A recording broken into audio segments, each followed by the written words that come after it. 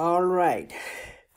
So now we are going to drive the equation for the Ohm's law, which we know V equals to I times R. And it appears so simple, but we are going to learn how do we come up uh, with something uh, so small, so powerful. Uh, so let's look at some of the basics and uh, concepts behind this equation right here.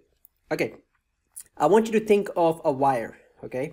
A wire that has a length L, uh, represented by L. Uh, this whole thing represents the area, which includes the radius, uh, length, um, so that's the area of cross section of that wire. It has two terminals. I'm going to connect this wire with a battery. Okay, so this is the positive terminal over here. And then the negative terminal is connected to over here. Okay, all right.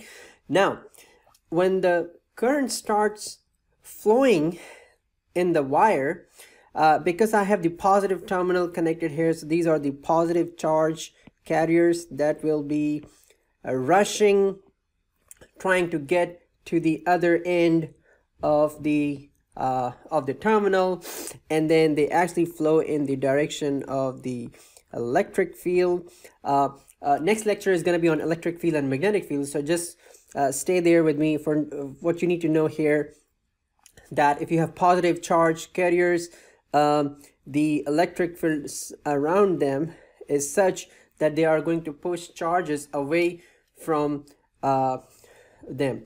So the positive charge carriers are going to flow in the direction of this electric field that you see over here.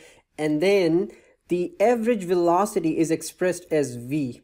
You know, that's the average velocity at which these charge carriers will be moving. Sometimes it's also referred to as the drift velocity and also the number of charge carriers are represented by n okay that's the number of charge carrier concentration okay. So from this piece of information what we learn is that electric current here electric current is actually a function of number of charge carriers times the area of cross section of the wire which is A times the charge on a carrier remember you know that charge is how much? Uh, electron or carries a charge of uh, 1.602 times 10 to the power negative 19 coulomb. And one way to understand what charge is like everything uh, that exists in the uh, on the planet any matter has a has a mass volume density. Similarly these carriers that you see they carry a charge um, n times the velocity. Okay so that's the magic equation right here. And i'm gonna say this is my equation one okay? This is my equation one. And i can write it down here again.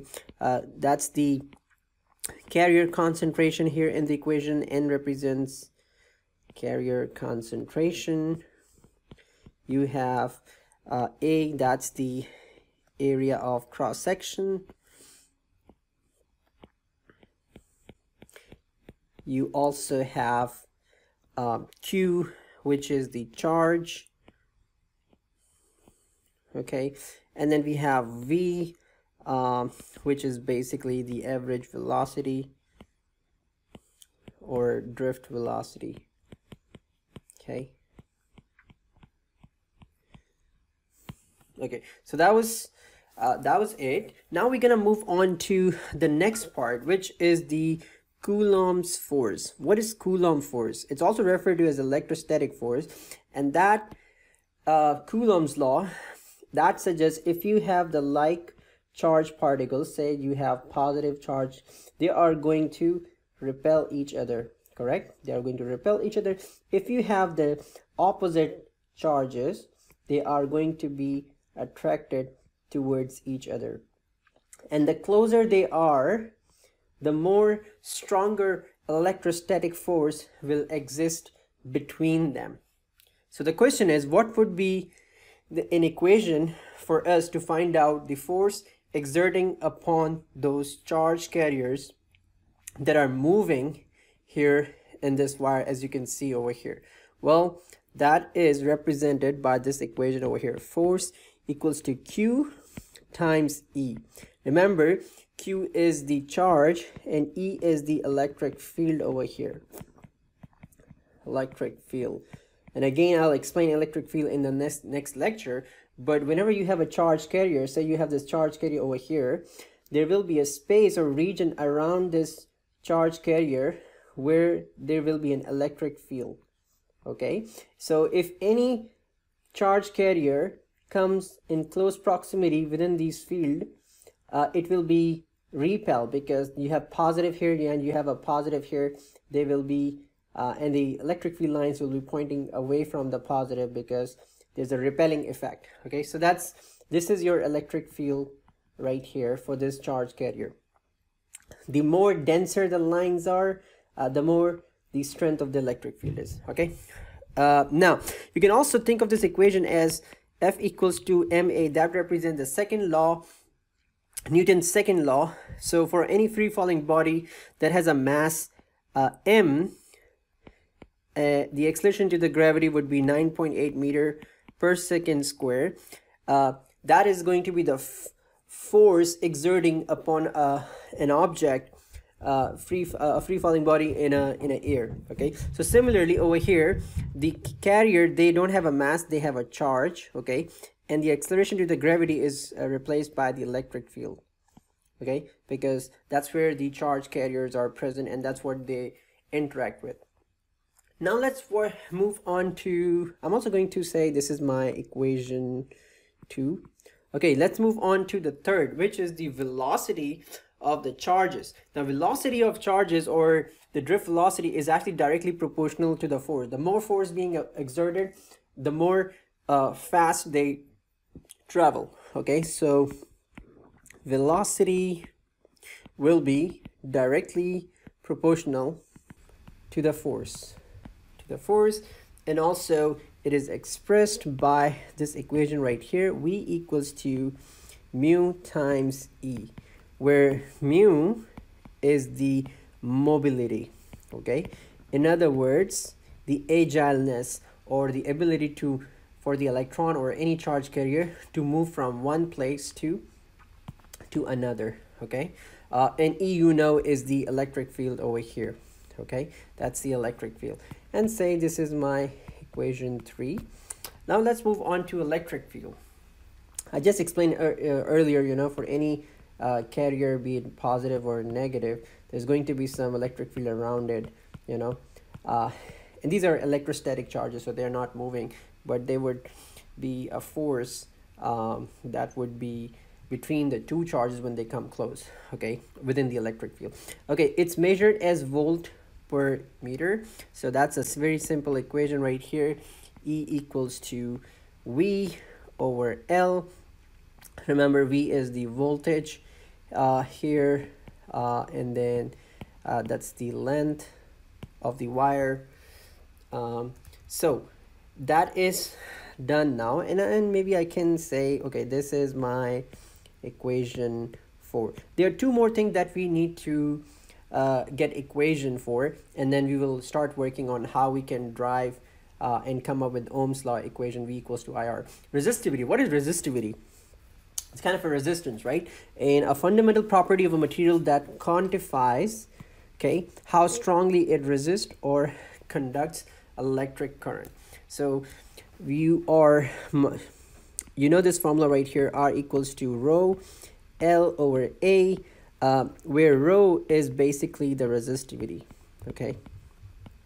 It's the resistivity and it is measured in ohms per meter L is the length of the wire and A here is the area of cross section. Uh, and conductivity is basically uh, opposite of uh, resistivity. So if you rho uh, sigma is your conductivity, that's the symbol we use for conductivity. Conductivity. is actually inverse of the resistivity so it's 1 over rho okay um, I can yeah I think maybe I can just leave it over here for now. Uh, now what I'm gonna do here I'm gonna pull my equation number one from equation one. Let's go back. Let's go back. Uh, what was the equation one? This was the equation one right? I'm gonna change the color here. So this was my equation one. I equals to n times a dot q dot v. Okay i equals to n times a times um, times what was it? Q times v okay? All right. Q times v. Now what is v here? V is the velocity which is expressed as mobility times electric field okay so let's put that let's re replace the velocity with that. So i get what? N dot a q dot mobility times electric field. Okay what is e in this equation? E is the electric field and here's the equation for the electric field. That is v over l. Okay let's replace e with v over l in the equation here n dot a dot q dot mu dot v over l. Okay remember this v is the voltage it's not the velocity which was the case over here so i'll just write v average here. Okay now let me rewrite this equation over here. I equals to n dot a dot q dot mu dot v over l if i rearrange this equation right here and write it such that v equals to I, okay, dot L dot L over A Q N mu. Okay, so just after rearranging, I get something like this. What I want you to focus over here, this part of the equation, okay, this part of the equation. What is this thing right here? If i say this equals to resistance would you believe me? Okay let's see. Let's see the magic here now. Okay now remember that r equals to rho l over a? Okay this equation right here okay? I can also rewrite this equation as l over a dot conductivity. Remember conductivity is 1 over rho okay? So these both will be equal right? Uh, I can write it either this way or this way. Both forms are pretty much uh, okay. And also this conductivity is actually equals to q charge times n times mu and it is expressed in Siemens per meter okay so your conductivity, which is inverse of the resistivity, also equals to charge times N times mu, okay, which is the mobility, N is the number of carriers, and Q, the charge carried by the carriers. So if I replace the sigma, which is the conductivity in the equation above, with this right here, so I get A dot Q dot N dot mu. Okay, so if I look at this equation, this is exactly what I have over here correct? Right? This is exactly what I have over here and this is basically the resistance. So if I have to rewrite this equation it will boils down to V equals to I times R and that's what we refer to as Ohm's law. Okay have you ever wondered the simple equation but there's so much behind it right? Now, I want to just give you one quick analogy to understand individual parameters in this equation, what voltage is, what current is, and what resistance is. So let's look at this analogy over here. Okay, all right. So what is Ohm's law? The Ohm's law is the potential difference across an ideal conductor again uh, against an ideal conductor and it's proportional to the current through it okay? Uh, v equals to ir v is the potential difference between the two points and includes a resistance r uh, and then okay all right let's see you have this graphic right here. Say this is tank one over here. You have this tank two over here. If you notice the difference between the two tanks is this tank has this pipe which is thicker than this pipe right here okay? So the thickness of this pipe could be referred to as the resistance. As can be seen this is a thicker so it has a less resistance 1 ohm and this has the resistance of 2 ohms. Means the thickness of this pipe right here is twice as much the thickness of this pipe right here okay? Maybe I can change the color over here. Now also, if you look at the amount of water, the volume of the tank over here, and also over here, this volume represents the voltage, okay? The amount of water being held by the, the tank itself, okay? And what is current then? Well, current is the flow rate of the water, okay? So assume that you have water in here because the thickness of this pipe is more compared to this one right here the flow rate is going to be more. That means the current is going to flow more and that's what would say 1 m.